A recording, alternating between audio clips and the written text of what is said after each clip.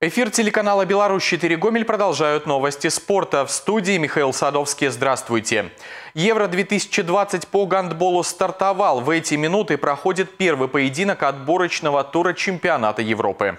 В матче первого тура третьей квалификационной группы подопечные Томажа Чатра в немецком Кобурге встречаются с командой Германии.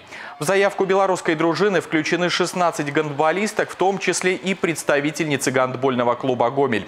Вратарь Юлия Кунцевич и полевые игроки. Наталья Котина, Ирина Дронова, Екатерина Селицкая, Татьяна Цирипка, Наталья Гесть и Ирина Мокот. Напомню, в финальную стадию континентального первенства попадут по две лучшие команды из семи отборочных групп. Олимпийские дни молодежи проходят в Гомеле. В областной центр приехали спортсмены со всей страны. Всего около 75 человек. За победу борется молодежь 2002-2003 годов рождения. По итогам этого турнира будут определены не только лучшие боксеры страны в этом возрасте, но и сильнейшая команда республики.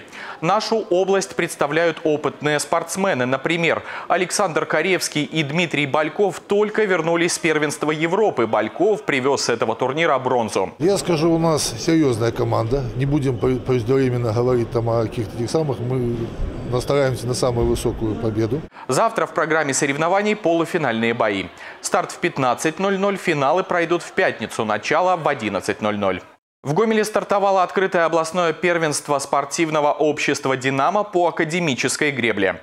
В турнире участвуют юноши и девушки 2002-2005 годов рождения. Спортсмены будут определять лучших на протяжении двух дней. За победу борются представители команд Гомельского и Минского филиала спортивного общества «Динамо», а также Гомельского училища Олимпийского резерва из Дюшор номер 6.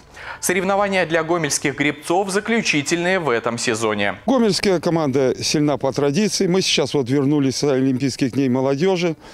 Там очень много первых мест, командно первое место.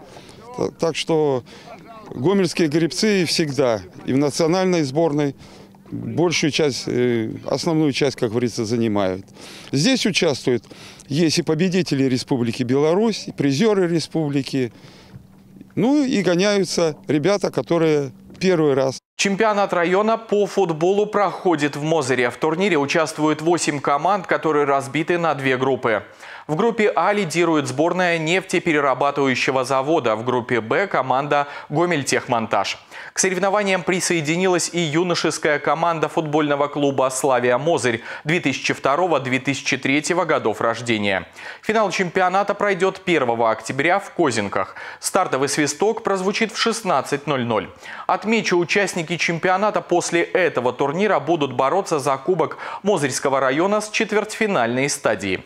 На этом пока все с новостями спорта. Вас знакомил Михаил Садовский. Оставайтесь на Беларусь 4.